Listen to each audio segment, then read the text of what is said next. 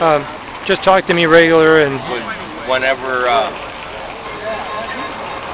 if they cut out the mining completely and enforce the quarter mile easement to the waterways, make them a scenic waterway, that's gonna affect your hunters, your fishermen, your campers, and any of these Hikers. four by four clubs, uh, anything that has to do with up there, you'll be able to, you won't even be able to drive next to the creeks with anything motorized.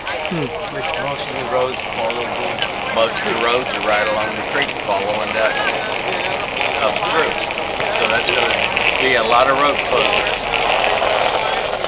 which is gonna pretty much affect everybody. well, thanks for